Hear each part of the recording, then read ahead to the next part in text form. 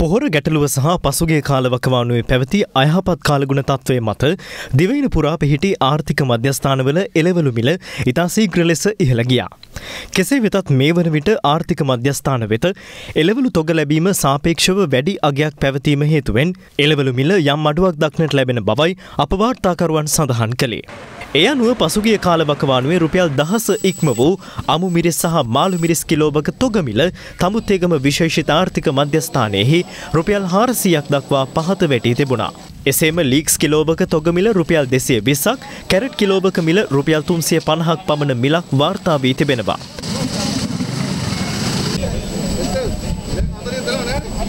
උඩට එලවලු මිල සාධාරණ මිලට ගියා අපි මහත්තයා. පොය නිසා වෙලෙන්ද ටිකක් අඩුයි නේද? ඒ නිසා බඩු පොඩක් මිල අඩු වුණා. කෙසේ වෙතත් පසුගිය කාලයට වඩා වටක්කා පිපිඤ්ඤා වැනි එළවලු මිල ඉහළ ගොස් තිබුණා. ඒ අනුව වට්ටක්කා කිලෝවක තොග මිල ලෙස වාර්තා වී ඇත්තේ රුපියල් 100ත් 110ත් අතර අගයක්. රජරට ප්‍රදේශයේ එළවලු තොග අඩු වශයෙන් ආර්ථික මධ්‍යස්ථාන වෙත ලැබීම එම එළවලු වල මිල ඉහළ යාමට හේතු වී ඇති බව වෙළඳුන් පවසනවා. මං්ඥක වට්ටක උපරම මිලගින් සීය එකසිය දායක සීස මිලගින් දෙෙන ඒ වෙනදපොල අර අඩුවට තිබෙදේ මිලට ගියා සාමාන්‍ය අම්මිරිස් මාළු මිරිස් කියන දේ පහත වෙනවා. අනිත් දවනකොට ඒක කියන්න බෑ අප මිල අයිද මිල බහිද දන්න. එසේම මීගොඩ ආර්ථික මධ්‍යස්ථානයේ අද පස්වරුවේ එළවලු තොගමිල සාපේක්ෂව අඩු වගේක පැවතුනා.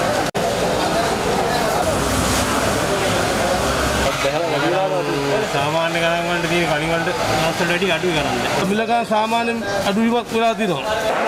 මේ අතර එළවලු සිල්ලර මිලෙහිද තොග මිලට සාපේක්ෂව යම් අඩුවක් වෙළඳපොළෙහි දක්නට ලැබෙනවා.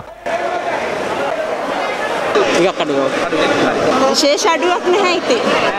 රතුරුණු 500 200 බිරුණු 500 120යි. මිරිස් රුපියල් 700යි 600යි දෙහි රුපියල් 200යි 240යි සෑහෙන අඩුයි ගණන් අඩුයි අඩුයි. පතෝලේම 250යි රටකොළු 250යි ආපෝ කියලා වැඩක් නැහැ. ලාභේ. ගාන අඩුයි කිව්වට ගන්න ගියාම ගණන් වැඩිද? එලෝරිසින් සාමදේම ටික ටික ගණන් අඩු වෙලා තියෙනවා